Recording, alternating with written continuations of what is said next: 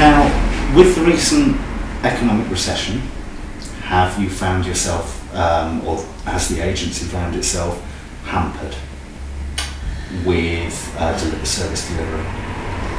Um, well, as I said before, all our services are funded by outside agencies, um, the Primary Care Trust or Social Services. Um, again, our services depend on our commissioners.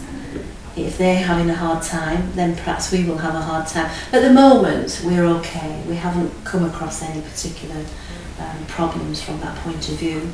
But uh, I suppose if it goes on for a long time, if the recession goes on for a long time, we may find that perhaps our commissioners will be cutting back on their services. But at this moment in time, touch wood, we're okay. Yeah.